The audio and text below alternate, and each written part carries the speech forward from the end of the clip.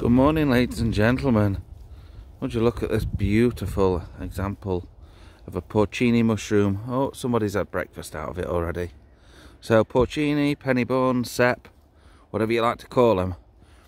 We're out at just gone seven o'clock in the morning with the dogs and we're in between an oak tree, a silver birch, another oak tree, absolutely perfect habitat for this particular, what I like to call king of the mushrooms.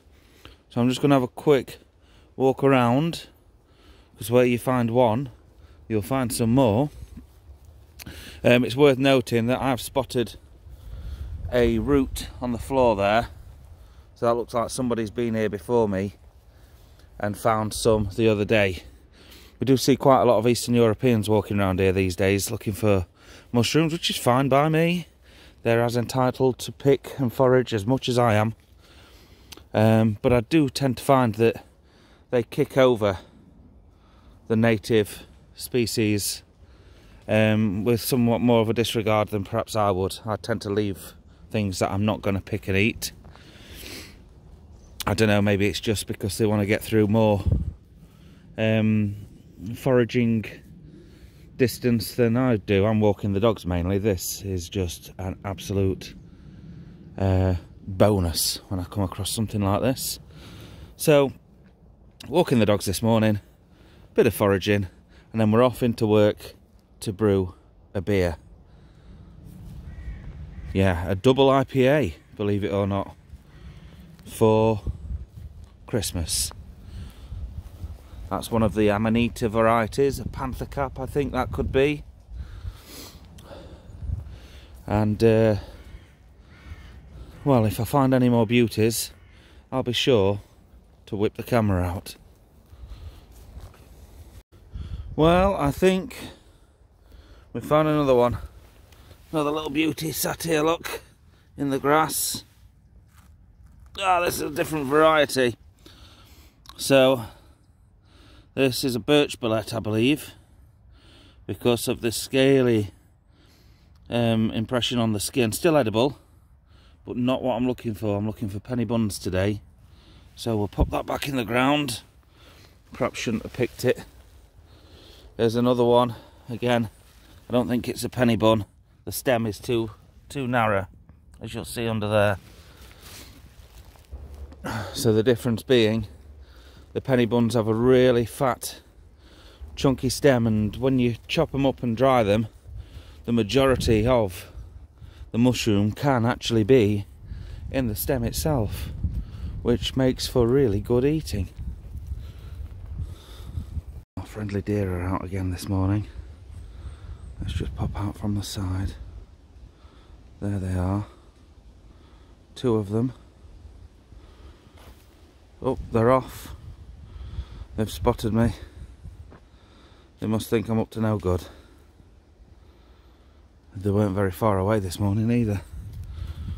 It's always nice to catch them first thing. I've been really quite lucky.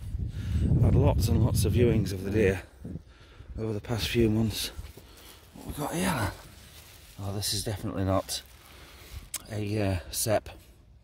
A different variety altogether. We'll not be picking that one. But we are going to go across to where the deer were because they're rather partial to a nibble on a porcini. So who knows? They might have hit the hot spot over there. Let's go and have a look. There's a nice little trail we can follow here. So this is where they were. Chance has picked up the scent. But something I've spotted is a lovely red russula here. And uh, just look at the colours on that. I suppose it doesn't do it justice on the camera. It's a lot paler red stroke purple than it looks on the cam. So look at this habitat. It's absolutely perfect for ceps. We've got oak trees, we've got silver birch, more oak over here, and of course on the floor, this bottom of moss, if you like, mixed in with the grass, indicates a certain level of moisture. And a little trick that I found recently if you go on the north side of the tree earlier on in the season That's where you'll tend to find the fruiting bodies pop up first because it's a little bit more moist, a little bit more damp for them. And then as you progress through the season, you can move around to the south side of the tree where as the uh, weather gets cooler and moister, the rest of the mushrooms will start to appear. That's my theory anyway, whether there's much truth in it or not, I'm not sure, but practically it worked for us this week. And I've not shown you, but we've got a uh, dehydrator absolutely rammed full of porcinis from our walk on the weekend.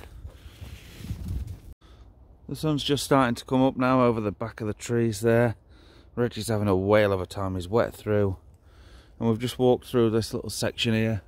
We've got an oak there. We've got a silver birch here. And just at my feet, I found this beautiful example. It really is gorgeous. I think this has come up this morning or yesterday. And I've just trimmed it back, kept most of the stalk, and as you can see, it's in wonderful condition inside. And look how pale and white those spores, the, the pores are even. So I'm going to continue down this way. Hopefully we find more of the same. Well, that's just two this morning, so not too many. It is worth noting that uh, there is another one down here, but it's been nibbled out and something's probably trodden on it. So I've decided to leave that one. Then that should hopefully drop some spores at some point. There's the sunshine. Oh, you little beauty. Right, let's keep looking. This sun will help us find some as well. It's been a bit tricky because it's been dark at the bottom under the trees. So fingers crossed. Good boy chance. So we've got a couple of beauties here. This one's just pushed up through the ground. And we've got a tiny little baby one there, look. They make really good eating, these little ones. I mean, you could leave them in the ground till they get much bigger, which probably should do but that's the size that's bigger than a supermarket mushroom so let's put it next to this one for a bit of a size comparison. Oh this has got a beautiful stem on it. Oh my gosh. So you want to get the stem up as best you can. Look at that. That's absolutely gorgeous. Two beautiful examples of a penny bun. Not to be confused with this that's growing close by or this one these are an amanita variety I think. You can tell the difference because underneath oh no this is the uh, this is another um, bolete but this is looks like a, a stainer of some type. But uh, whilst probably edible not very enjoyable. We'll stick to these. Well we've ended up with quite the haul and some of these specimens are glorious. I'm really pleased with this morning's forage. So let's get these back to Harry Brew HQ and get them in the dehydrator. So we're home. This is our haul from today. One two three four five six seven eight nine ten eleven. 11 beautiful porcinis. Now, this one's my favourite. This is how I like to get them. You see how dry the cap is? So that means it's absolutely fresh and it's had very, very little insect activity on it. Now some of the other ones, obviously they've been out in the morning dew and they're a little bit slimy, but that's not a problem. In fact, now's the ideal time to wipe off any grass from the top. But most of them are semi-dry to dry and this one's a nice one too. What I'm going to do is just let these sit on the side here for the day while I go to work and then tonight I'll cut them up and prep them. I'll let any insects that are on them crawl away. But if we come across to our dehydrator and I pop it open, now earlier on in the week Gemma and I went for a walk and these are the porcinis that we are in the process of drying. Just want to get these to the stage, oh they're about ready, just where they snap. That's perfect actually. So we've almost filled the dehydrator here. I forgot to weigh it last time, but I'll probably weigh the ones that we've got there. And then we'll measure the dried weight as well. but you can see they're absolutely beautiful examples of the style, of the variety even. Then if I just go into the kitchen, I'll be able to show you the finished product. In fact, I brought it out here because the light's a bit more natural at this time of day. So this is a combination of porcini powder and porcini pieces. And they are recognisable, as you can see. You quite clearly see that that's porcini, but this stuff, oh my god, it just smells so meaty. So normally a tablespoon of this in any stew and it just completely changes it. So I think that amount of mushrooms there will dry down to a jar a little bit smaller than this.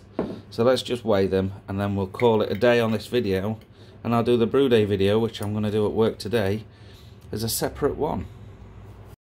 Right, we've got a scale on the go. I'll put the big ones in first. We're in millilitres, but that doesn't matter. Millilitres and grams are the same when it comes to weight.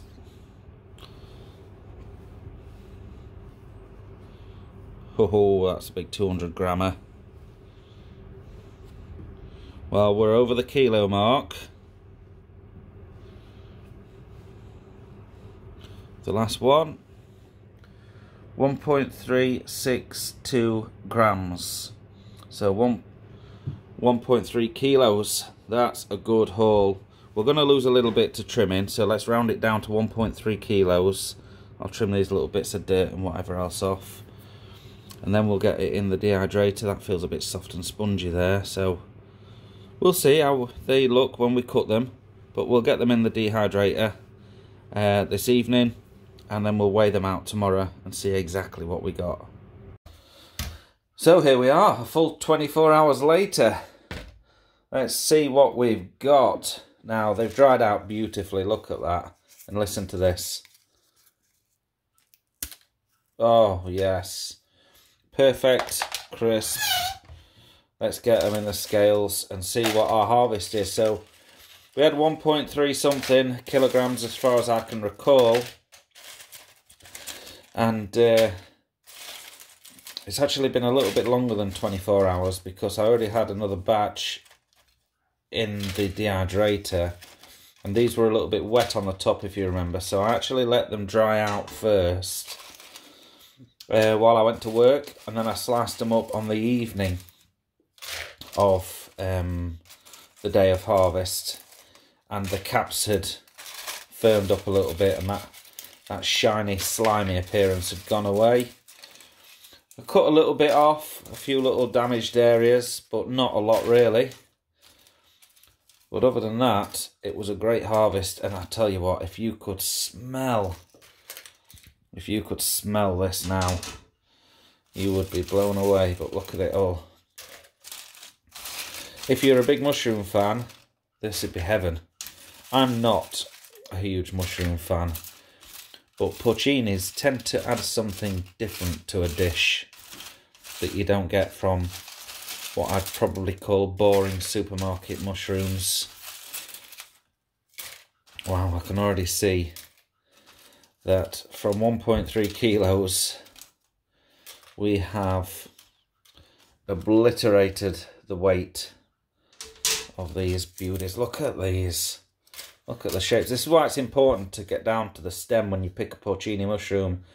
If you look at the shape of that, all of this down at the bottom which is lovely stuff still, would have been part of the possibly the root system, if you like. And if you just chopped off at the stalk, then you you're going to lose a fair old percentage of that shroom.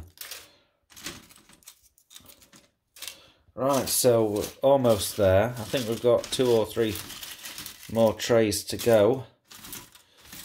It's like the gift that keeps on giving. Wow. We're not even at 100 grams yet. From 1.3 kilos. So it looks to me, there we go, we're just past 100 grams. So we need 130 grams to have lost 90% of the volume of these mushrooms. 90, 90% gone to the atmosphere. I think we're on target for that by the looks of things.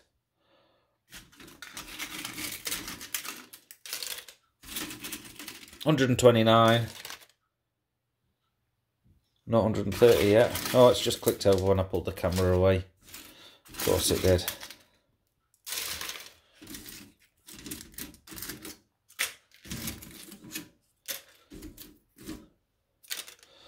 There we go. 142, 143 grams of porcini mushroom from 1.3 kilos to start with. And then what we're going to do is we're just going to squash it all. Squash it all up like this. We don't want it down to dust as much, but we don't want any huge pieces because we want this to kind of give an umami kind of vibe to any dishes that go that it goes into. It doesn't necessarily taste mushroomy when you use porcinis. Well, it tastes like porcini. There we go. Just a few larger pieces to go. Now that, oh, that smells wonderful. That's going to go in a jar. I've got a couple up here. That's last year's and that is this year's. So we're going to do the same with this. Another jar. We'll fill her up and you end up with beautiful porcini mushrooms ready for cooking. I'm a lucky boy. Right guys, thanks a lot for watching. Keep liking, keep subscribing for quite a variety of videos on the channel it would appear these days. Uh, so thanks a lot and we'll see you on the next video.